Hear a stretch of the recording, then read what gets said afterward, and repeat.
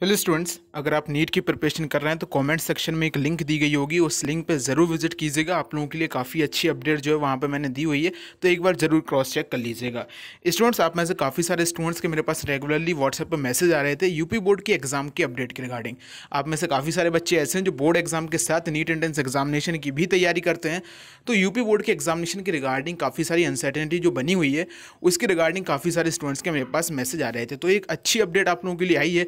उस अपडेट के बारे में इस वीडियो में बात करूँगा, लेकिन वीडियो शुरू करने से पहले आपसे रिक्वेस्ट है कि चैनल पर नए हैं तो ज़रूर सब्सक्राइब कर लीजिएगा।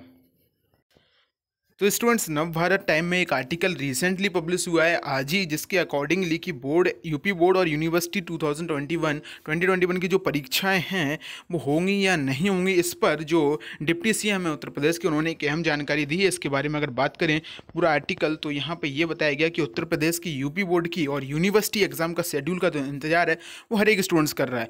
और यहीं पर जो एग्ज़ाम कंडक्ट होते हैं यूपी बोर्ड की, अगर बात करें तो यू के द्वारा जो एग्जामिनेशन कंडक्ट होते हैं तो यहाँ पर बताया गया कि 20 मई के बाद यूपी बोर्ड की परीक्षाओं पर अपना फैसला सुनाया जा सकता है कि 20 मई के बाद आपको कन्फर्म हो जाएगा कि आपके एग्जामिनेशन होंगे या नहीं होंगे। नहीं होंगे तो कैसे आपको पास किया जाएगा और एग्जामिनेशन होंगे तो कब होंगे, कैसे कंडक्ट कराए जाएँगे। तो इसकी अपडेट आपको बीस मई के बाद मिल सकती है।